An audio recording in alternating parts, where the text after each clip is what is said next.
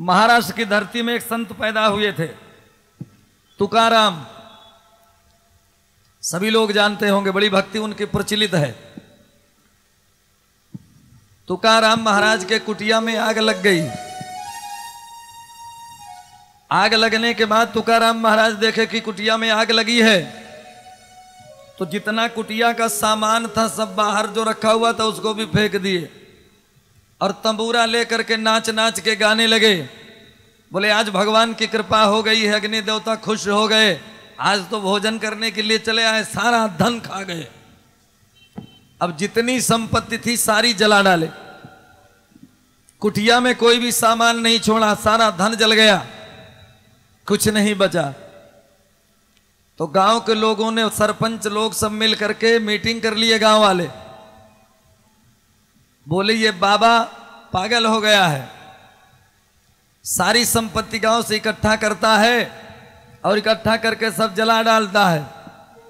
आज के बाद इस बाबा को कोई भोजन नहीं देगा। सभी गाँव के लोगों ने मीटिंग किया।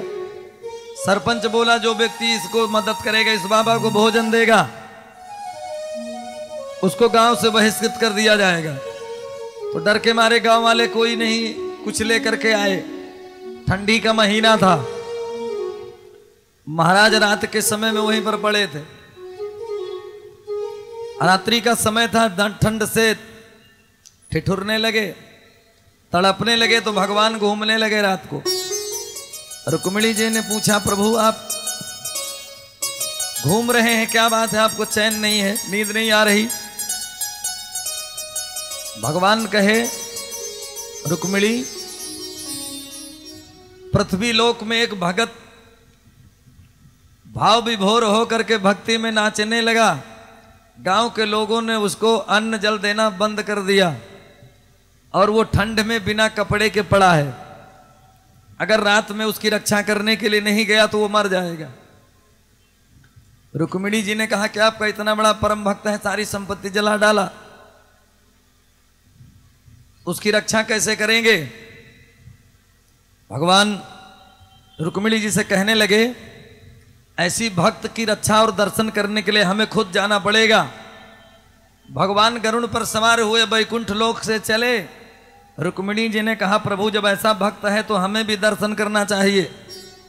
रुक्मिणी जी के साथ में भगवान महाराष्ट्र की धरती पर पहुँच गए।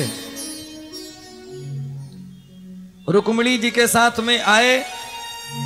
तुकाराम महाराज वहीं पर सोए थे, सोते सोते उनकी पूरी कुटिया बना डाले। और भगवान जब अपने हाथों से कुटिया बनाए तो वो एयर कंडीशन कुटिया हो गई। एयर कंडीशन कुटिया बना के चले गए, ठंडी में गर्म रहे, गर्मी में ठंड रहे। वातानुकूलित कुटी बना दिए। अब सवेरे सवेरे जब लोगों को नींद खुली, कुटिया में सारा सामान भरा, कुटी एयर कंडीशन तैयार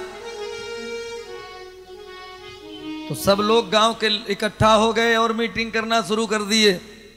बोले, ये बाबा चमत्कारी है। ये कहीं कंट्रैक्ट रखता है इधर उधर से कुछ व्यवस्था किया होगा। और रात में कंट्रैक्ट दे करके कुटी बनवा डाला। तो उनसे पूछने लगे। तो वहाँ के सरपंच ने कहा कि, जैसा तुम्हारा कुटी है, वैसा कुटी हमारा नहीं है। और मैं इस नगर का राजा हूँ। मेरी कुटिया ऐसी होनी चाहिए जैसी आपकी है। बताओ कौन बनाया है?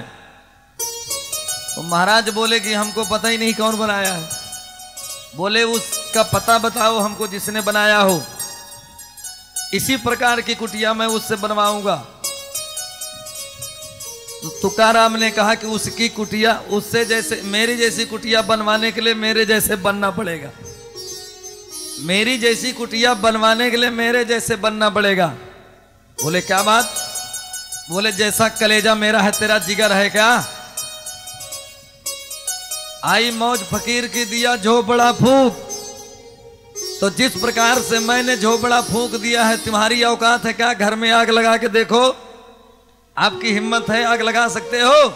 मैंने अपनी कुटिया में आग लगाया है। मैंने अपने हाथों से अपने धन को जलाया है। आप अपने धन को जला सकते हैं।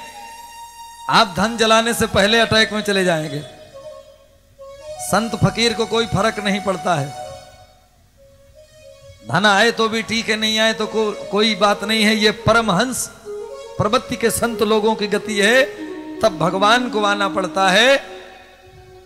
जब प्रभु की शरण में लगोगे जब भगवान की तरफ़ लग गए तो भगवान का काम है भगवान कार्य करते हैं।